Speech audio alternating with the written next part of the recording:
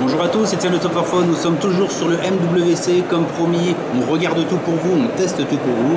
Nous sommes sur le stand d'Acer avec euh, Julien, le responsable marketing de chez Acer, qui a la gentillesse de nous donner toutes les informations sur les nouveautés qui sortent et qui a en main le dernier Jade Z, je dis bien, c'est ça C'est ça, Qui est le successeur du Jade S. S. Voilà, tu vas nous dire un petit peu les différences et ce qu'il y a de mieux sur cette version.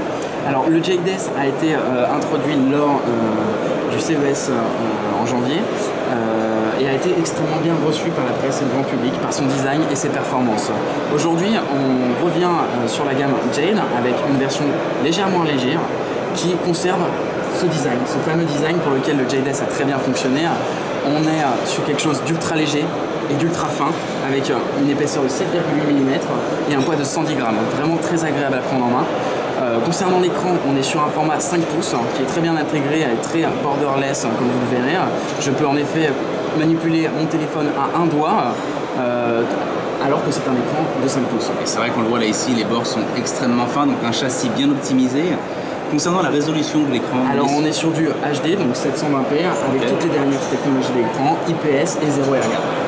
alors qu'est-ce que tu peux nous dire sur cette technologie euh, Alors IPS, réduire les angles, les, les difficultés pour voir sous un angle euh, différent. Mhm. Et le 0 air gap, c'est simplement l'écran qui est imprimé directement, donc sans couche d'air, sur la surface tactile.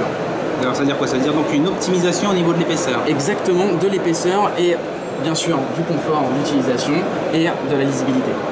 Parfait. Et concernant l'intérieur du téléphone, le hardware, qu'est-ce que tu peux nous dire? Alors, je vous parlais de performance avec le JDS. Ne vous inquiétez pas quand je vous ai parlé euh, de performance allégée. On reste sur quelque chose de très véloce, comme vous pouvez le constater. Euh, c'est très fluide. Mhm.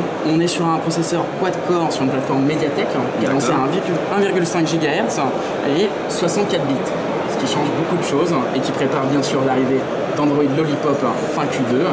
Couplé à cela, nous avons 1 Go de RAM avec 8 Go de mémoire de stockage, extensible via micro SD, toujours dual SIM et j'en profiterai pour vous montrer la petite spécificité. On a en fait la possibilité d'introduire deux nano SIM ou une nano et une micro SD. D'accord, sur le même slot. Exactement.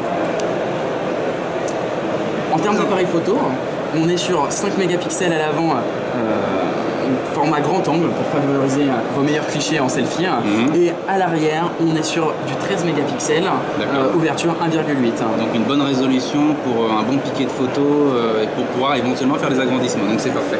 Juste, je- j'en profite pour vous euh, montrer l'ancienne version, le Jade Mhm. S, hein, qui comme vous voyez avec un back cover un petit peu différent. Ici nous étions sur un octocore, sur un price point à 299 euros. Mhm. Là nous conservons le même design, quelque chose de très véloce, rapide.